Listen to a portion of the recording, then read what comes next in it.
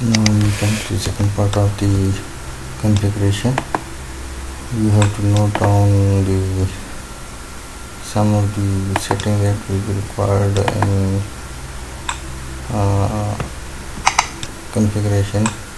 You can see that I have already written the uh, setting in the WordPad this setting I have been uh, used for my previous uh, router setting. And uh, the same uh, will be used for the next just with a bit little bit changing. First we have to enter the host name. I used this. And uh, you have to change the administrative password to log to the web login and uh, please do remember it because this has to be used for login to the uh, web uh, interface. And if you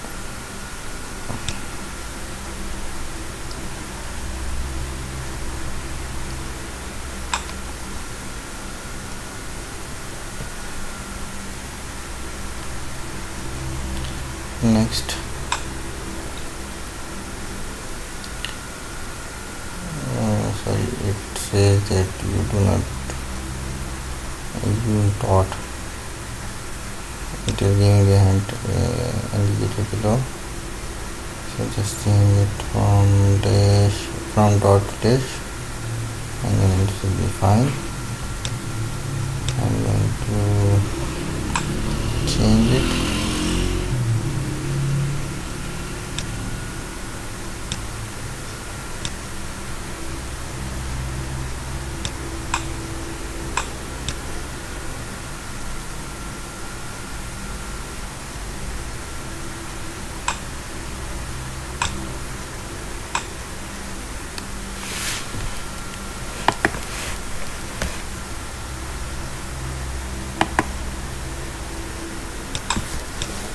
and next.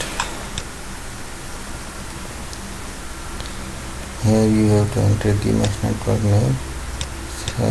I have only created a mesh on the previous access point so I want that um, this will also be a part of that mesh to the channel. And my previous mesh and this mesh should have the same channel and I use the encryption so here I have also to use the same password so that the mesh can be encrypted. Just confirm the password.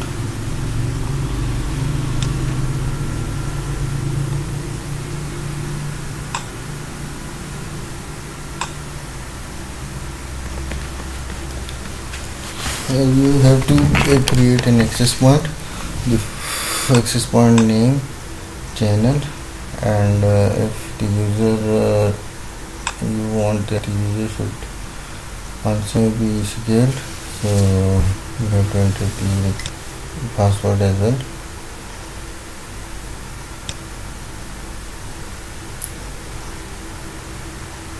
I use some of the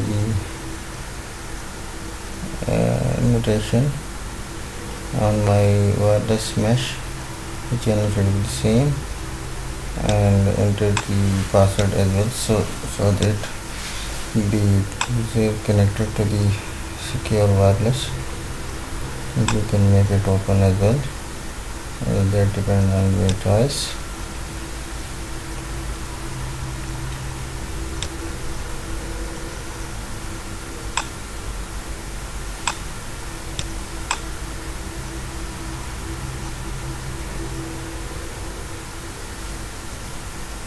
confirm it oops. Little bit error correct it. Next. And we have done. Resetting uh, for the gateway. And uh, you can the configuration that will be updated.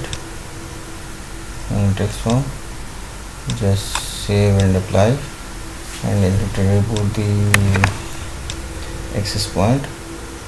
So you have to log in it again to see the configuration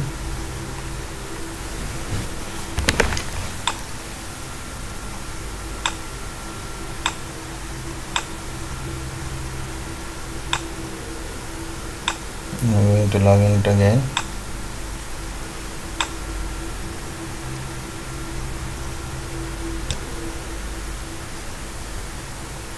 Now it will ask you the password that we have entered in the configuration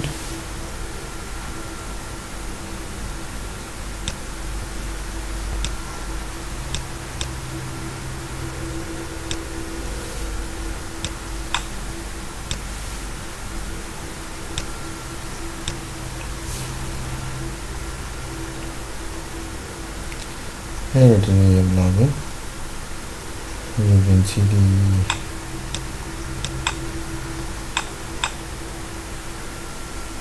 web interface currently no other uh, node is connected. So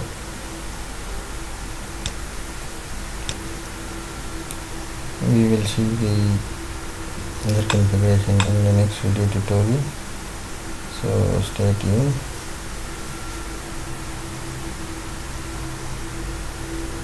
and thanks for watching. Don't forget to subscribe my channel